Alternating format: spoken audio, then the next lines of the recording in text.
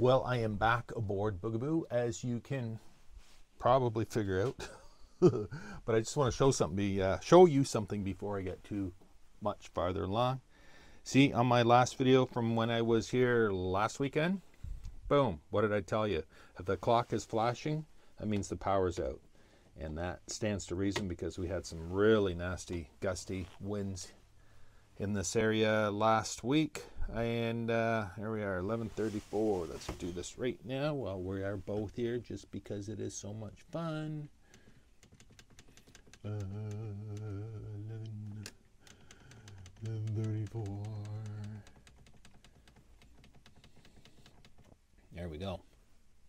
Done. Close enough. AM PM doesn't matter. It's 11:34 yeah we had really really strong winds in this area.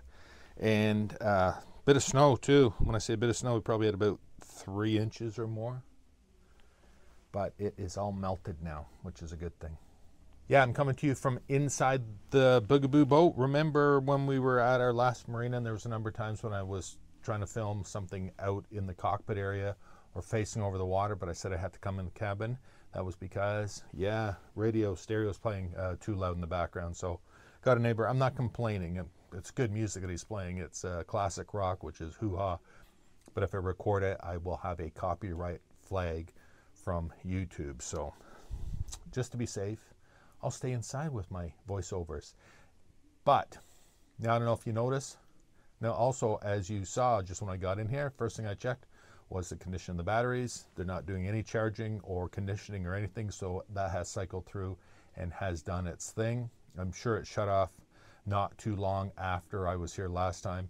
Um, and then when the power was down for who knows how long the power was out for, but when the power was out and then restored, I'm sure the charger came back on and did whatever it likes to do. So remember on that last video, my last trip here when I was doing the hooking up the shore power, I, I lied to you a little bit. I said I was going to be here the following day because that was, what day was that last week? I can't even remember. But anyways, the day that I was here, I said I was coming back the following day.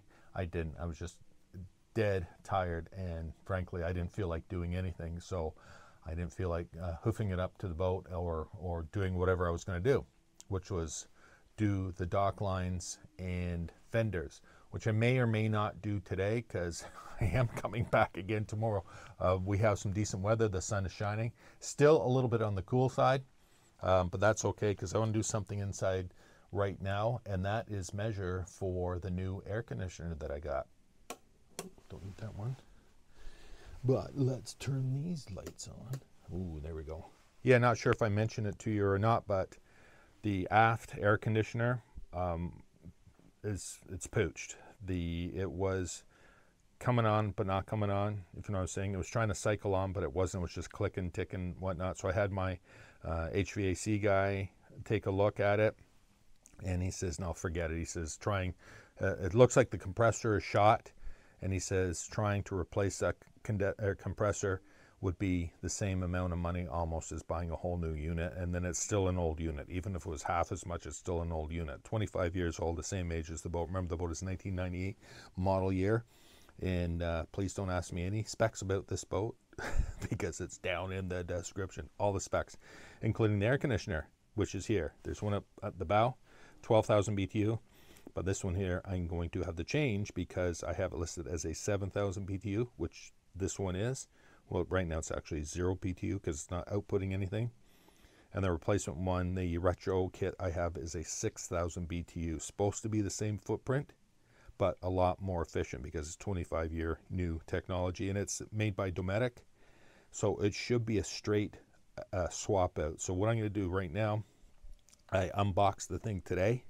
Uh, it's been sitting at home for the last couple of weeks, but I unboxed it today for the first time and just to take a look at it, make sure it's what I was expecting.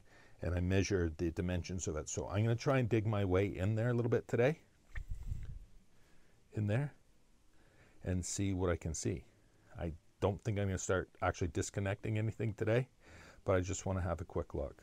And uh, as far as I get with that, like I say, I'll probably leave the fenders and lines till tomorrow because it's supposed to be, again, a nice warm day. And hopefully I get Anchor Girl up here with me as well.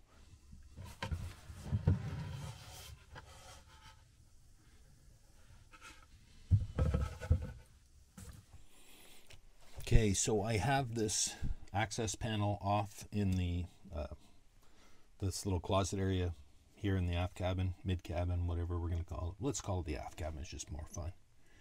And that is what we have. And I just did some rough measurements, and I'm thinking that the new one, the footprint is actually a little bit smaller because the compressor looks smaller on the new one.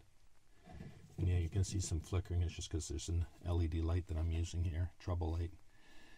So um, the issue is going to be, sorry, not the issue, but the approach should be really straightforward because I just have to disconnect the um, outlet line and this part will actually uh, turn a little bit so I can get in the right position.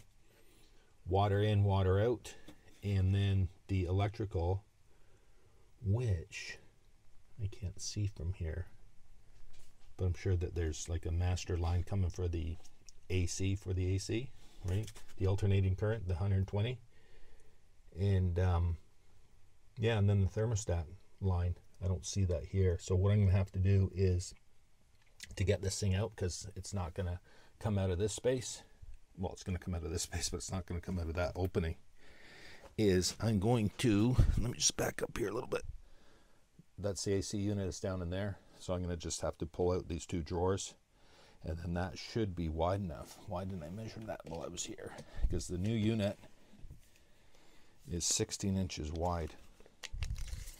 I measured it. It looks like we have about 18 inches of width. And it's only 10 and a half inches high, and this is about 16 inches high once the drawers are removed. So um, that would be the next step in this process is just remove these drawers and then I will have better access. I'll disconnect what I can at the top and then do the rest from here and pull it out, put the new one back in. But that ain't to happen today, my friends. Yeah, so that makes me happy. I'm glad that I have this figured out. Shut this light off and close this cabinet up and then get out of here. Yeah, one more little thing I want to do, um, not related to anything re really repairing on the boat, just something I want to do while I'm here and then I am going to call it a day. So that means that those fenders and lines are not going on this boat today. So I will be back tomorrow. Heard that before. Yeah, no, I'm definitely going to come back tomorrow because um, it's supposed to be rainy and, well, warm, but raining, kind of snotty this coming week. Um, so I don't know if I'll get a chance to come back up here. So I'm going to come here tomorrow, real time today, Saturday. I'll come back tomorrow, Sunday. Again, hopefully with Anchor Girl. Maybe she'll give me a hand and we'll just throw those dock lines and fenders on the boat. Whole other video. Yay, exciting. So yeah, that's it from my uh, still in the air Boogaboo, but that's going to change soon. So that's it. As always, look forward to your comments and look forward to get that AC unit hooked up and uh, get it running on the boat. Hoo ha. Okay, we'll see you on the next one. Cheers.